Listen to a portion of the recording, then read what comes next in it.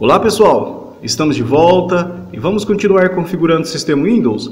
Bem pessoal, hoje eu vou estar ensinando como ativar o Windows Sandbox ou a máquina virtual do Windows 10, perfeito? Vamos lá? Vamos aqui na pesquisa da barra de tarefa e nós vamos digitar painel de controle. Bem pessoal, digitado aqui painel de controle, ele já aparece aqui em cima e vamos abrir. Bem, pessoal, aqui no painel de controle a gente vem em programas e recursos, mas antes, porém, pessoal, deixa eu fazer uma mudança aqui, porque tem muita gente que me cobra. Porque de repente, pessoal, o painel de controle de vocês estejam com essa aparência. E não é essa aparência que a gente vai estar utilizando para fazer as configurações. Então, para mudar é muito simples. É só vir aqui em categoria, na frente tem esse Vzinho, dá um clique com o botão esquerdo do mouse e vem em ícones grandes. E o nosso painel de controle já fica na aparência que a gente vai utilizar para fazer as configurações, perfeito? Agora a gente vai vir aqui em Programas e Recursos e vamos abrir.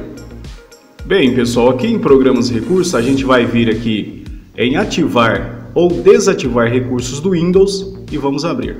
Bem, pessoal, abre essa nova caixa, nós vamos maximizar ela aqui. Então, pessoal, a função que a gente tem que ativar é a área restrita do Windows, né? Ela está desativada aqui, área restrita do Windows. Então a gente vem e marca esta opção. Fazendo isso, a gente vem em OK.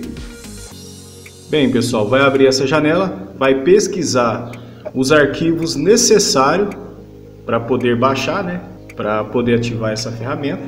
Agora está aplicando as alterações. Bem, pessoal, o Windows concluiu as alterações solicitadas, né? E agora o Windows precisa reiniciar o computador para concluir a instalação das alterações solicitadas. Perfeito? Então agora é só vir em reiniciar agora e vamos reiniciar o computador para concluir as alterações. Perfeito? Bem, pessoal, antes de continuar, deixa eu passar uma informação. No meu aqui não apareceu porque eu já tive essa ferramenta outras vezes. Mas no de vocês aí, se vocês é, vão ativar essa ferramenta pela primeira vez, então, antes de chegar nessa caixa aqui, é, deve ser numa caixa anterior, né? Vai aparecer aí duas opções de onde é, baixar as configurações para ativar essa ferramenta. E tá lá as duas opções, ou do Windows Update ou do computador. E vocês devem marcar do Windows Update, que é a ferramenta que faz toda a atualização do sistema Windows. Perfeito? No meu aqui não apareceu porque eu já tive essa ferramenta outras vezes. Perfeito? Após isso, pessoal, é só vir em reiniciar agora. Perfeito? E nós vamos reiniciar. Bem, pessoal, após reiniciar o computador, a gente vai voltar aqui novamente na pesquisa da barra de tarefa e nós vamos digitar Windows Sandbox. Bem, pessoal, digitamos aqui Windows Sandbox, é, ele já aparece aqui em cima e vamos abri-lo. Bem, pessoal, aberto aqui o Windows Sandbox. Para quem não conhece, é a máquina virtual do Windows 10 e é como se fosse um Windows dentro do nosso sistema Windows. É com a vantagem que a gente pode fazer todo e qualquer tipo de experiência, né, que a gente queira, abaixar aplicativo, instalar programas, é, fazer downloads de arquivos e muito mais sem correr o risco de danificar o nosso sistema Windows instalado no nosso computador. Pessoal, e essa máquina virtual é muito importante. Ela nos possibilita fazer muitas coisas, né? De repente, quem tem medo, né, de fazer algumas experiências no sistema Windows principal, pode estar fazendo, pessoal, toda e qualquer experiência, né, aqui nessa máquina virtual, porque não vai danificar o sistema Windows, perfeito? E quando você fechar a máquina virtual, então tudo que você fez nela será apagado, né? E quando você quiser, é só abri-la novamente. Se a gente quiser também, a gente pode maximizar ela para o tamanho da tela do computador mesmo, né? Para ficar do mesmo tamanho, como se fosse o Windows mesmo do nosso computador. E é muito interessante mesmo, pessoal. Tem internet, tem tudo, pessoal, que o Windows normal tem. Perfeito? É, com a vantagem de ser apenas uma máquina virtual. Pode fazer tutorial ou qualquer outro tipo de experiência, isso aí vai da criatividade né, de cada um também, perfeito? E para ativar essa ferramenta no sistema Windows 10 precisa de alguns requisitos.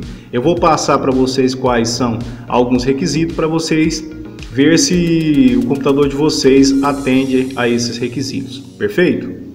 Bem, pessoal, infelizmente nas duas versões do Windows 10 Home não funciona, tanto nesse primeiro aqui quanto nessa outra versão do Windows 10 Home.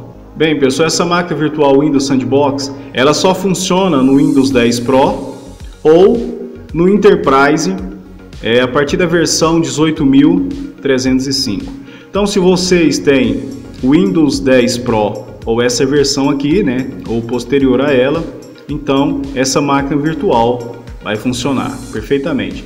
Mas infelizmente nessas duas versões do Windows Home, é, até onde eu pesquisei, essa máquina virtual não está disponível. Bem, pessoal, além desses requisitos das versões do Windows 10, o computador precisa ter também pelo menos 4 GB de memória RAM virtualização na BIOS, precisa também ter 1 GB pelo menos é, disponível no disco rígido e o processador também tem que ser de 64 bits. Perfeito, pessoal? Bem, pessoal, se vocês quiserem saber qual é a versão do Windows 10 de vocês, se atende aos requisitos que eu passei, é só vir aqui nas configurações. Mas se vocês não têm o ícone das configurações criado na área de trabalho de vocês, é só digitar aqui na pesquisa da barra de tarefa configuração. Ou se não, pessoal, é só colocar o ponteiro do mouse um pouquinho mais para o lado aqui em cima do menu iniciar e dar apenas um clique com o botão direito do mouse. E é só vir em configurações. Bem, pessoal, aqui em configurações a gente vai vir aqui no tópico sistema. Abre essa nova janela, a gente vai descer na barrinha até sobre Bem, pessoal, aberta essa nova janela, descendo aqui na barrinha, eu já consigo ver qual é a edição do meu Windows. O meu Windows é o Windows 10 Pro, que atende aos requisitos que precisa né, para ativar a ferramenta Windows Sandbox. Perfeito, pessoal? Então, pessoal, aqui para cima, subindo para cima, vocês podem ver as outras opções também, né? Se atende é, o processador, a memória RAM, então vocês podem estar conferindo. Então, pessoal, deixa eu fechar aqui. Bem, pessoal, essa foi a aula de hoje. Espero que todos tenham gostado. Se gostaram, dá aquele joinha aí para nós, se inscreva no canal e até o próximo. Fiquem com Deus.